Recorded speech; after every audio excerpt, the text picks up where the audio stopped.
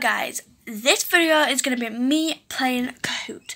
This is a weird intro. I didn't even do my normal intro today. But yeah, so basically I'm on this live lesson. This is Ellie, but she's turned the camera off. And this is my mum's tablet. And also Jessica's going to be on it, but she's got to find a charger for an iPad. For, well, not an iPad, but a tablet first. So, basically we're playing like Kahoots and stuff like that on here. And it's really fun. So, let's just started. So this is it so far. This is like the code we're doing. And this is Ellie and this is me mum, which is basically me because it's up there.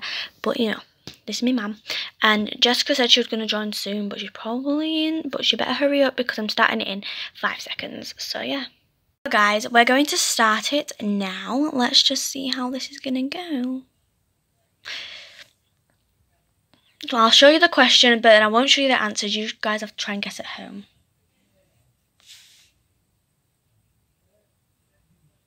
Guys, Ellie's in third place.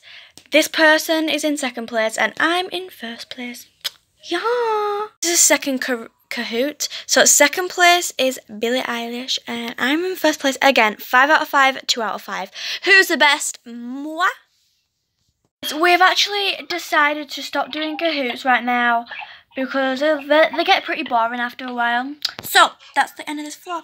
Make sure you check out that video there. Make sure to subscribe. Love you and bye.